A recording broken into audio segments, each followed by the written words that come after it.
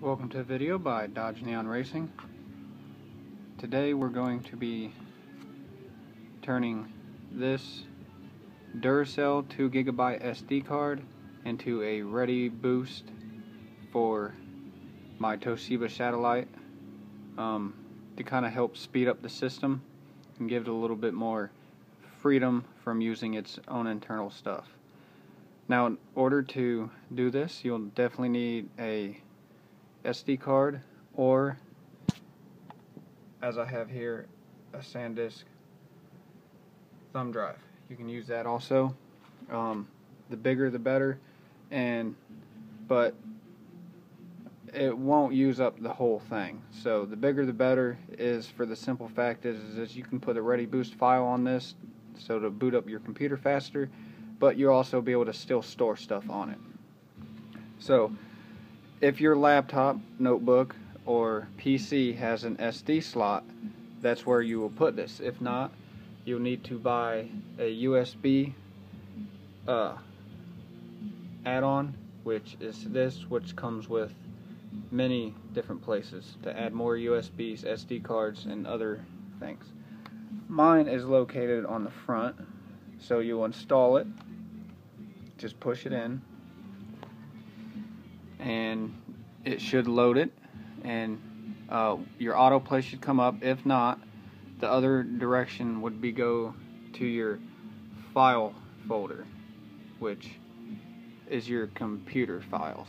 So I'll click open to view files. As you can see there's nothing on here. Now in order to do this I'll make it larger screen so you can see. You're going to go to it which it's located under removable disk. Left click. Properties.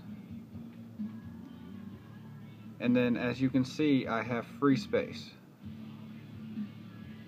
Alright. There is 96.0 kilobytes used but that is the SD card itself uh, using so it will operate if you've ever wondered what that use space is um, if you lost that, the SD card would not even work.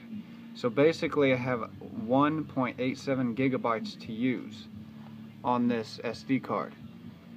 So what we'll do is you'll click on ReadyBoost and it says do not use this device, dedicate this device to ReadyBoost, use this device. So we're going to dedicate this device to ReadyBoost. And I have it maxed out for the max megabytes at 1914 uh, megabytes. Now this, what ReadyBoost does is it speeds up your system by utilizing the available space on the device you're using. While the device is being used for the system speed, the reverse reserve space will not be available for file storage.